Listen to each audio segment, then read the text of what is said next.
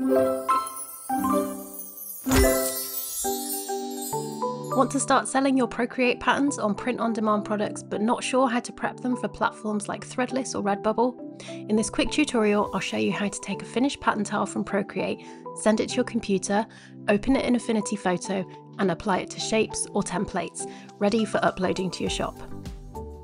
Let's start in Procreate. I've got my finished seamless pattern tile here. Make sure it's exported as a high resolution 300 dpi, PNG or JPEG. Then I'll just airdrop it to my computer, but you can also use email or cloud storage, whatever works for you. Once you have your file over on your computer, we're going to right click and choose Open with Affinity Photo. Then we need to get the Assets panel up, so we go to Window and Enable Assets. And then down here, we're going to click this hamburger menu and choose Add from Selection. Now we've got a copy of our pattern here.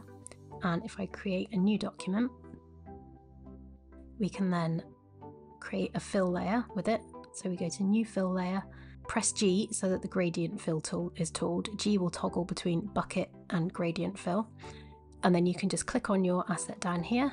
It will apply it to the layer. It's going to be really small, but you can just click and drag the nodes and adjust the scale like that. You can also use it to fill shapes. So if I hide this layer and grab the rectangle tool with U as the shortcut key for that and we can just click and drag a rectangle again press G to get this gradient fill tool and then we can fill it with our fill like that and again you can adjust the scale of that this is just the beginning of what you can do though. If you want to learn how to build out a full set of product templates, organise your assets and upload them to print on demand platforms like Redbubble and Threadless, come and join me in my new Skillshare class. So, you've got a whole gallery of beautiful seamless patterns made in Procreate, but now what? How do you actually use them to start selling on print on demand platforms, especially for those bigger, more complex products like shoes, duffel bags, or backpacks? If you've ever felt stuck trying to get your patterns from Procreate into a product ready format without splashing out on expensive subscription software, you're absolutely not alone, and that's exactly why I made this class.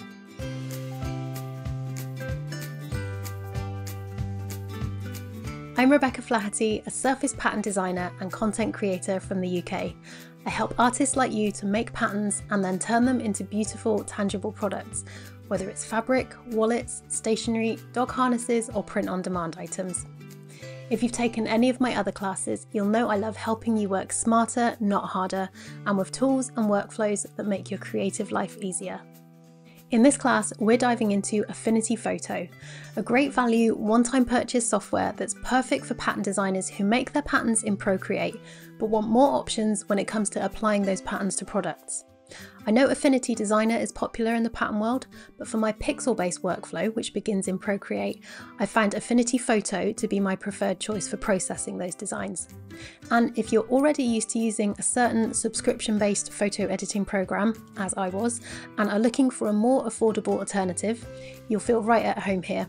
Affinity Photo looks and feels very familiar, and there are even a few things that I think it does even better. This class is specifically for artists who can already make a repeating tile and are now ready to step into the world of print on demand. You'll learn how to work with two popular platforms, Redbubble and Threadless, but the techniques I teach are totally adaptable to any platform you choose. In this class, you'll learn how to import your pattern tile and use it to fill entire layers or specific shapes. How to scale your patterns perfectly for printing and maintain resolution how to download and open print on demand templates from Redbubble and Threadless, and then use them to create reusable templates to speed up your workflow. How to make marketing assets like Pinterest palette pins and mockups that you can use over and over with just a few clicks. Plus, I'll share my own tips for organising your design files so nothing gets lost in a sea of random JPEGs on your computer. This is an intermediate level class, You'll need to come with a finished pattern tile, made in any software you like, as long as you can export it as a PNG or JPEG. I'd be assuming you're completely new to Affinity Photo, so I'll walk you through everything step by step. But if you've used it before, then this class might be just the thing you need to level up your workflow and start getting your patterns out into the world. If you're ready to go from I made a pattern to I made a product, then this class is your next step. Let's get those designs out of your iPad and onto the products they were made for.